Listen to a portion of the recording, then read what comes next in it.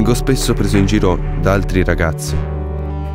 Ogni volta mi tengo tutto dentro. Credo che questo sia uno dei motivi per cui molte volte mi sento depresso. Molte volte ho l'impressione che nessuno mi voglia, che a nessuno importi di me. Così mi isolo. Sono persino riuscito a odiare me stesso. Odio la mia altezza, odio la mia voce, odio la mia faccia, il fatto che ho la testa fra le nuvole. Odio quasi tutto di me.